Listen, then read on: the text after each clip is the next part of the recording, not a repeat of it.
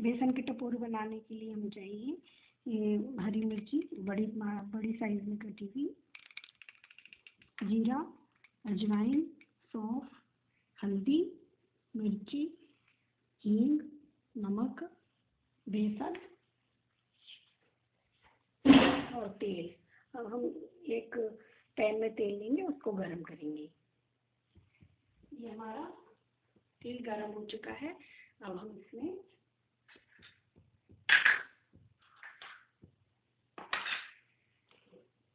डालेंगे।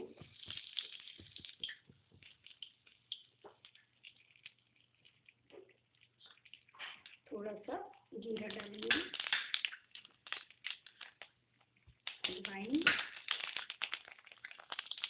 और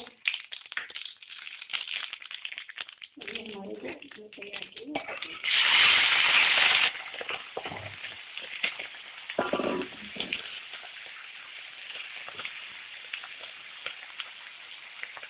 हल्दी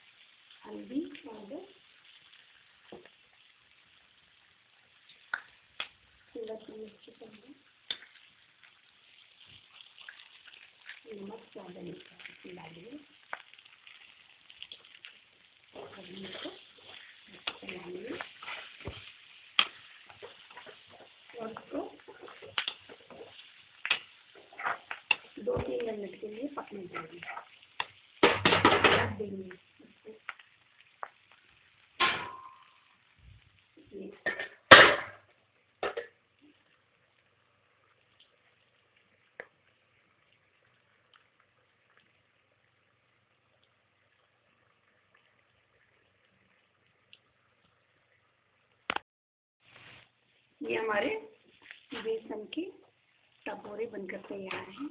अब हम इसमें थोड़ा सा नींबू डालेंगे।